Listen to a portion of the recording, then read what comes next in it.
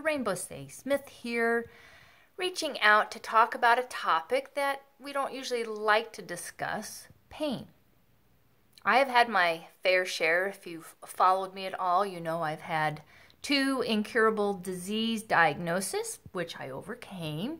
I've had abusive relationships, divorce, betrayal by friends, family issues like most of us, and workplace harassment, and a long list of disappointments, frustrations, and pain.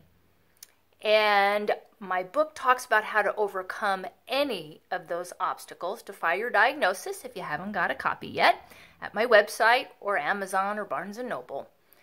But I talk about pain has a purpose in our life. Think about back to a kid when the first time you touched a hot stove or did something your parents said don't do and you got hurt and you learned very physically often about that pain. And then that pain is telling you, hey, no, don't do that. Or pain in your back is telling you something is wrong, go see the chiropractor. So pain does have a purpose in our life. The challenge comes as many of us can get stuck in the why me. We can wonder why so much has happened. Okay, 2020, wish we could reboot it. We can't. It seems like around every corner is something else that we're struggling with that is difficult. I've heard countless stories of people incurring things breaking, you know, everything just going wrong.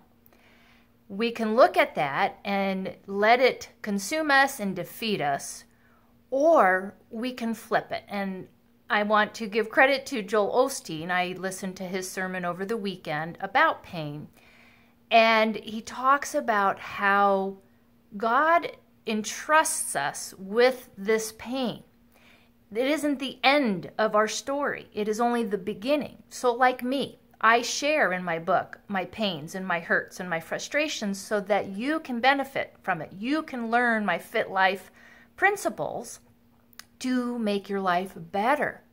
Each of us is entrusted with our circumstances. What are we going to do with them?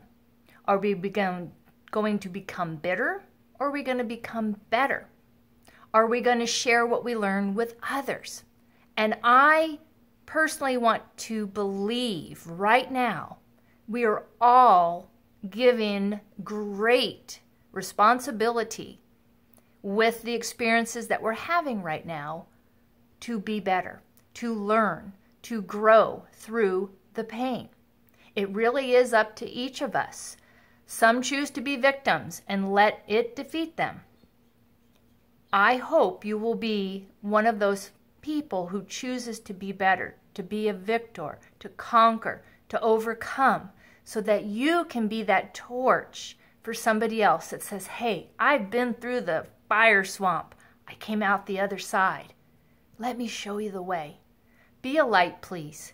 There's enough darkness, there's enough division, there's enough pain and hurt.